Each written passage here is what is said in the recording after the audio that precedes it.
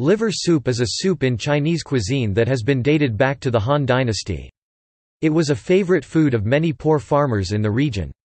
It is popular in China, Singapore and Malaysia.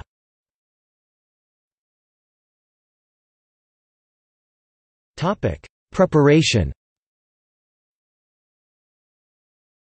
Often using a pork liver, it is cut horizontally and vertically then carefully slice away the bile or extra fats, boil ginger then add soy sauce. Place in the liver and let it cook for a while. Sesame oil and pepper are often used condiments in this soup.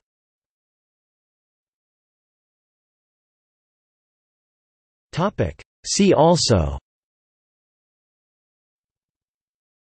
List of Chinese soups List of soups